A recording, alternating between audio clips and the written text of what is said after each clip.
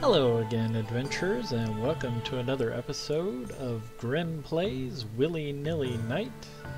I did all my inventory management stuff off screen so that you guys didn't have to watch the boring part of this. And uh, so now I'm back where those two Phantom Mages are, the Lich, and the two Guardians, or Guards. So we're gonna go in there and see what happens. I don't know if you're talking to him or if you actually fight him in this part, but we'll find out. And I think he is a reference to the um, Wrath of the Lich King, the, the Lich Arthas, because he kind of has that crown on that Arthas had, so it's kind of interesting. But uh, we'll go back to the resident Residence of Evil dungeon in a little bit, but I want to get this out of the way first. So we're going to go ahead and head in and make this fight.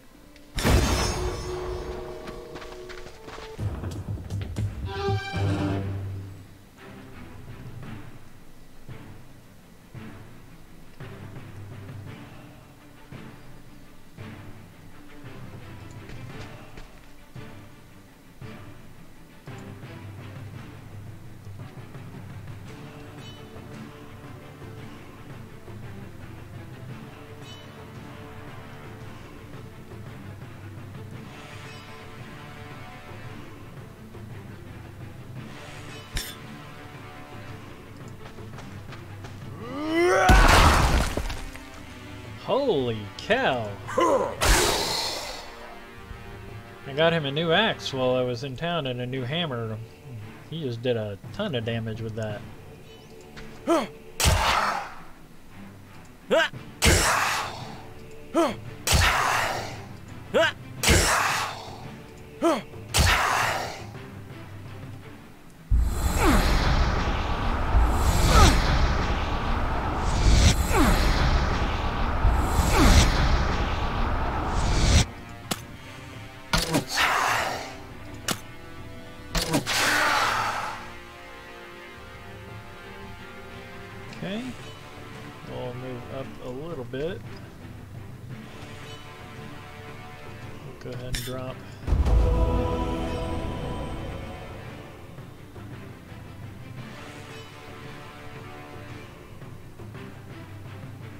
And scoot her up for the next fight.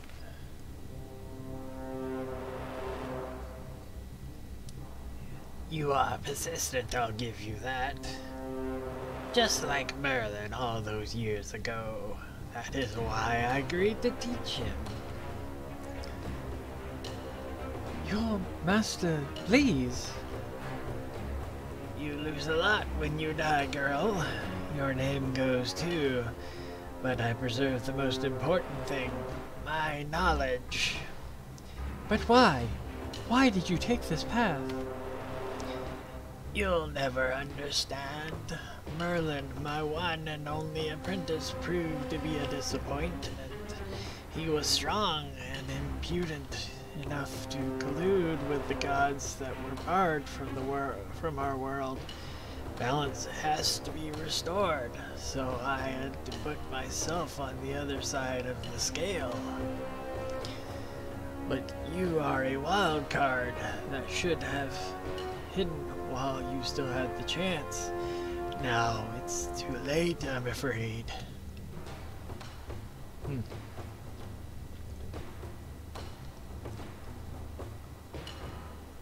Okay, so he just fizzles out.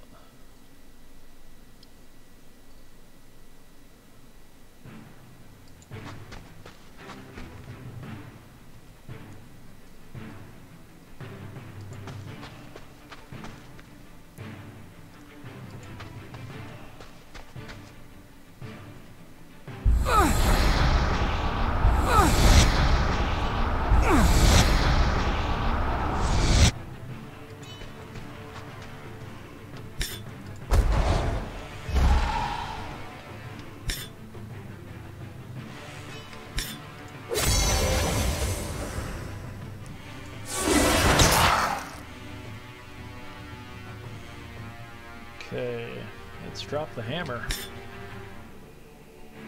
Oh, can't do that? Oh, about the axe. Oh, nice. Not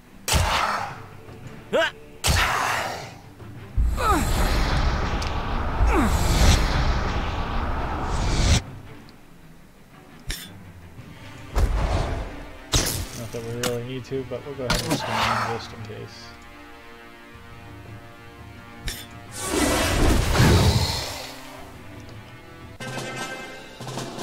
So, the Lich is Master Bleeze, Merlin's teacher, who refused to die.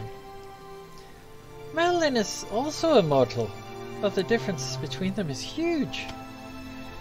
Different powers bring different paths. Let's see what's inside the chest. Well, let's collect our stuff first.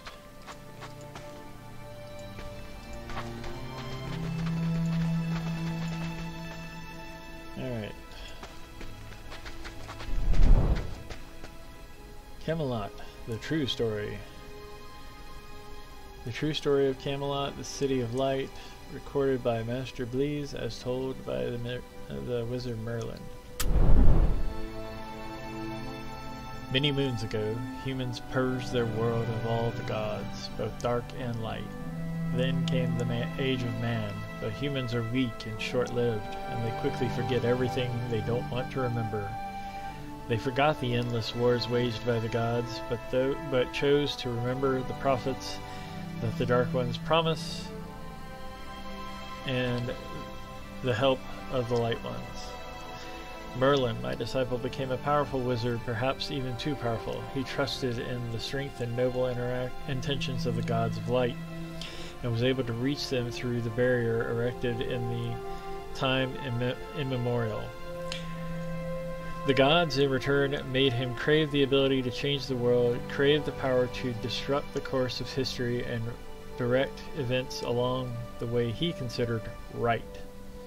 For that purpose, Merlin took on Prince Arthur of Northumbria as an apprentice and brought him up as he saw fit. Once Arthur became king, he, together with Merlin, built the, the great stronghold of light, Camelot, and made it his capital. State affairs were handled by the best of the noblest knights, who sat at the round table, and justice reigned in the country.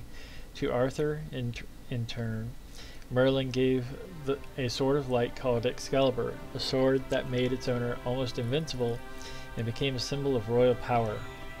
But the balance that had existed for centuries was violated, and the dark gods also received their opportunity to influence the mortal world.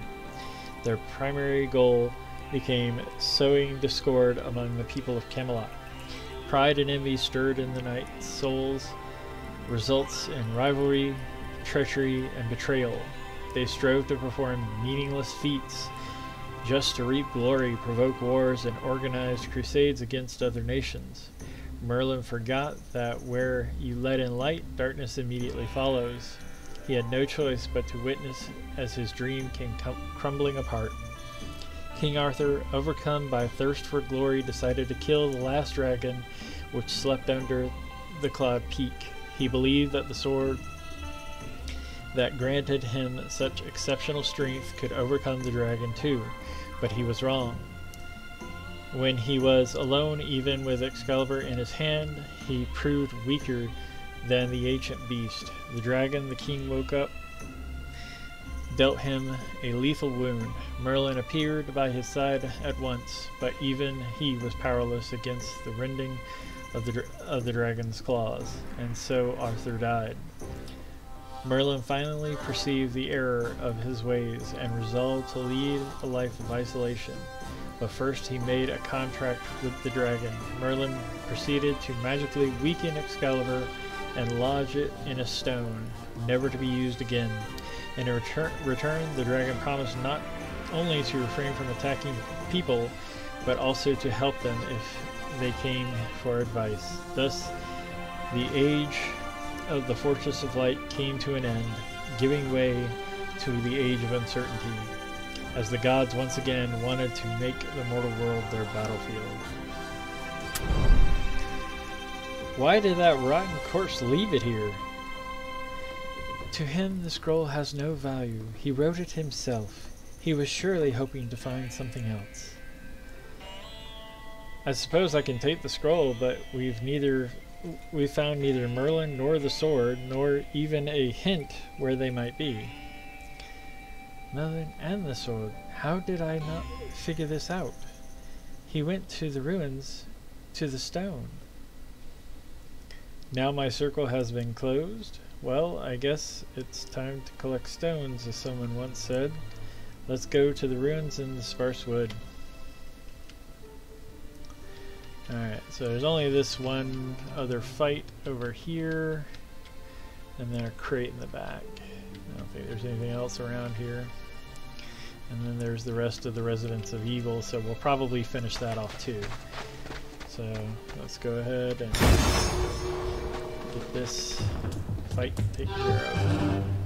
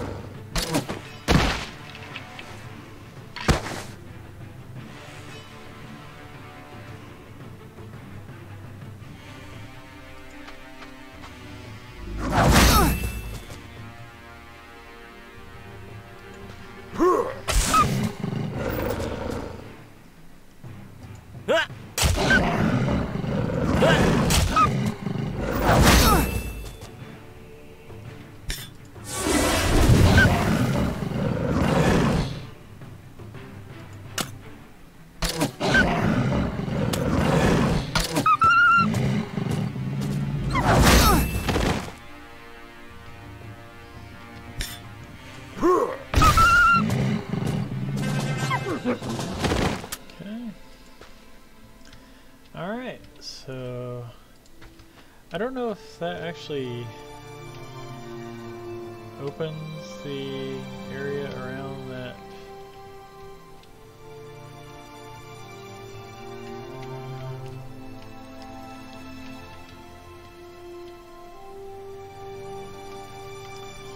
There was swirling magic around one of these. There it is gonna go over here just to see if that does anything.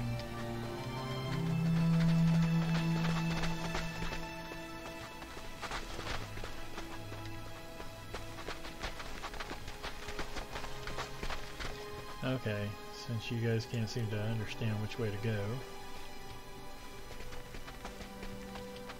Alright, come on guys, this way first.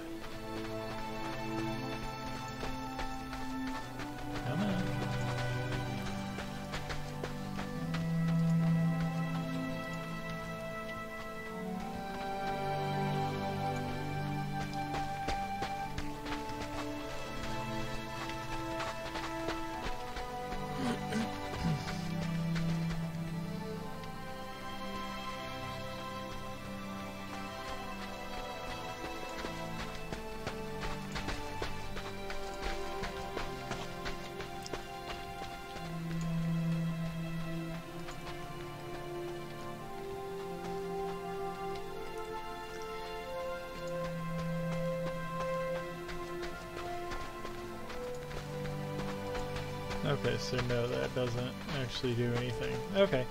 Well, let's go back to the resident residence of evil. Um,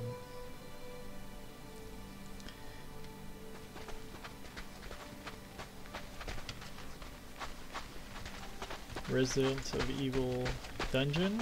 I'm going to pause and then I'll just restart the unpause it. Okay, so I've gotten to back into the Residence of Evil dungeon. The uh, oh, I didn't notice there was a crate there.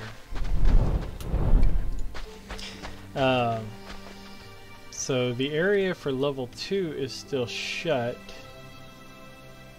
I don't know if that is triggered by something specific, if we have to clear out everything.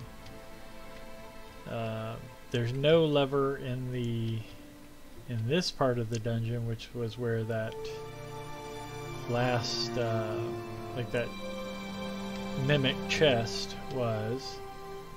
There's no other levers that I can find. And all the levers I do have have been tripped. So we're gonna give this a shot and try to make you know do this fight one more time and see if we can make it. So.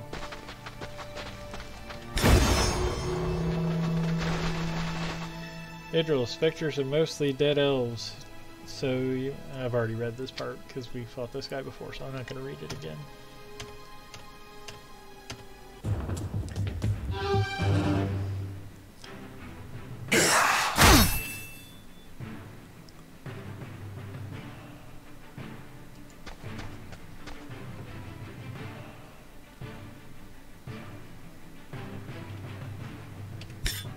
save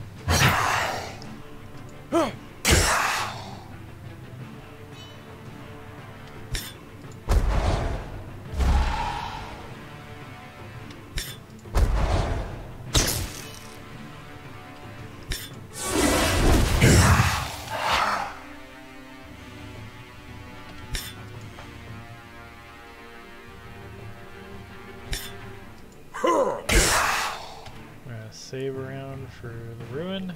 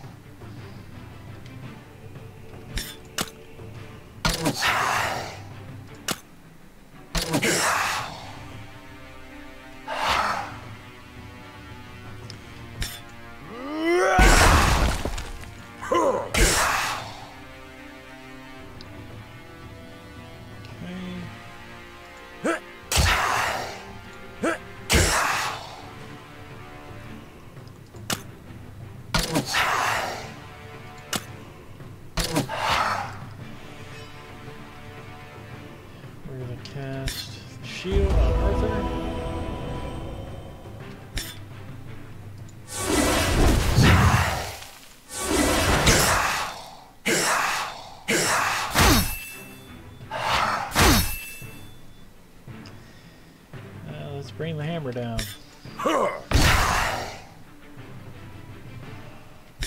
Let's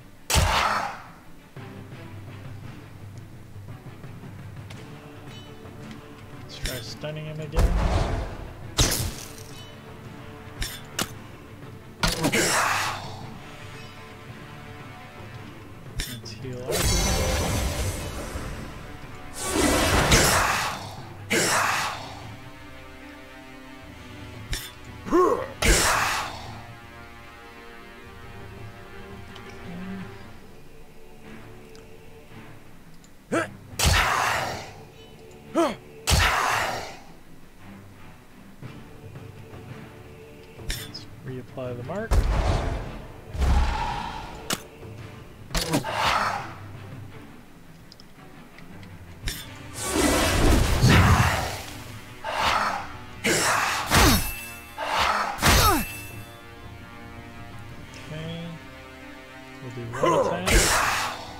Save the rest for ruin.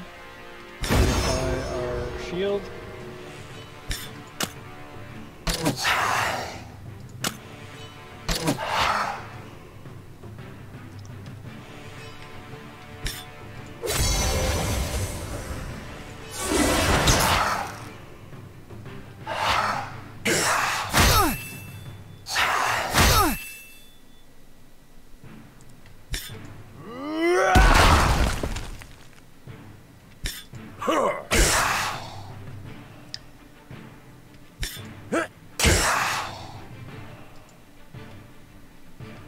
Try stunning him again.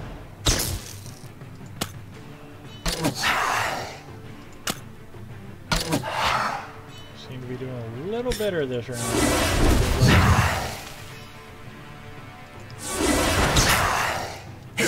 Jinx, I hope, though. Alright, bring the hammer down. Uh,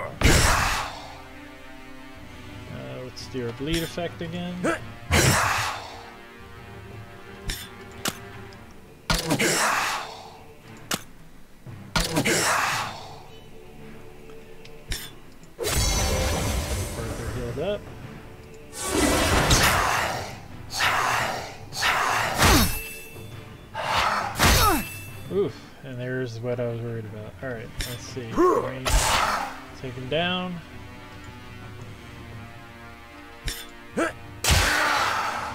There we go. Nice. I guess he wasn't as eternal as he claimed. Yeah, lots of rhetoric and a little sense. You would need to return to the tavern to tell. We need to return to the tavern to tally. Alright. So I guess that's all we can do in this area. So start heading back. Because the rest of the Residence of Evil 2 is closed off.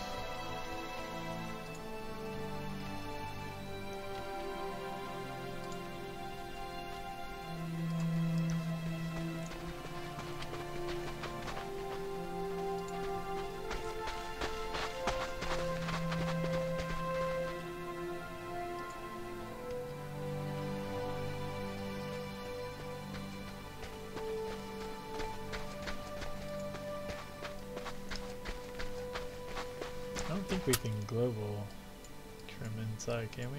Hey, we can! Awesome! Don't have to walk all the way back. Makes that easier.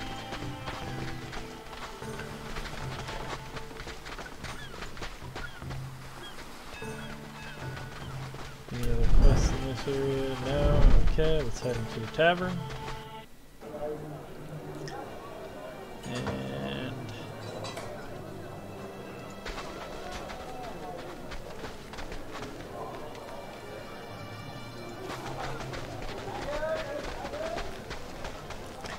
Tally, I don't know if this is good news or bad for you, but the Spectre is no more. Thank you. I hope his spirit has found peace. Immortality in ghost form is not what you want to see become of a person dear to you. You have our condolences. No, he died long ago. Here's your reward. Now please leave me to my thoughts. Okay. So let's see. Wizard armor, level 18. Not high enough level yet. Uh, and he's not high enough level for his new armor. Okay. And his quest was to go further into the into the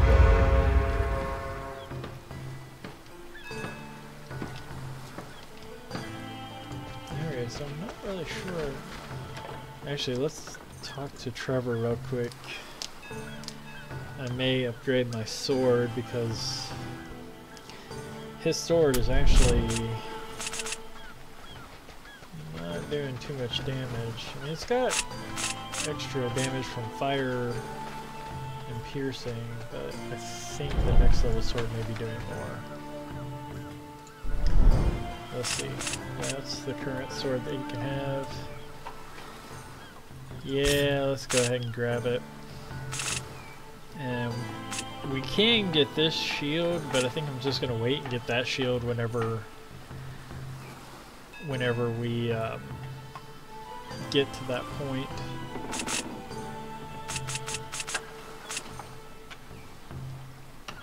So, yeah. Anything else I want to do? I don't think there's really anything else we can do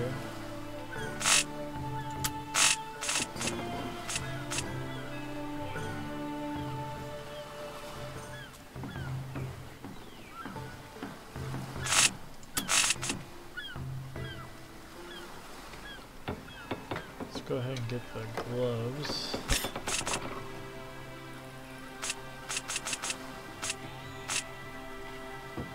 The helm is better. The helm I have is better. And the armor... The armor is better than what he has. But I don't want to switch his out because we're about to switch that out as soon as we level up. But we can go ahead and get that armor for him. So let's do that. Alright, so we'll give him the gloves and the sword. We'll go to him, we'll give him that armor. And these gloves are better than what he has. And let's go talk to Trevor again just to sell him back the stuff we don't need. We'll sell him the plate armor and the reinforced gloves.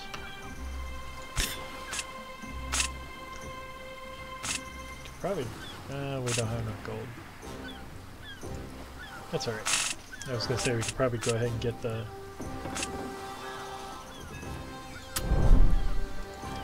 other, the, the shield, but we don't have enough gold for that. Okay, so that goes to the wizard at level 18, that goes to Arthur the knight at level 18. So now got some decent armor. Our armor still stinks, but she's not ever meant to be in combat, so that's okay. But we're gonna go ahead and it's gonna be a short video. We're gonna go ahead and close it out here. Uh, it's just by a couple minutes shorter than our normal videos, but you know, want to thank you for coming along. I feel like this is a good point to go ahead and stop the video rather than get into one fight and then nothing. Uh, so, you know, thank you for coming along. I do appreciate it. And if you do enjoy these videos as much as I enjoy creating them, please leave a like, comment, or subscribe. It does help out the channel, and I do appreciate it. And until next time, happy adventuring, guys.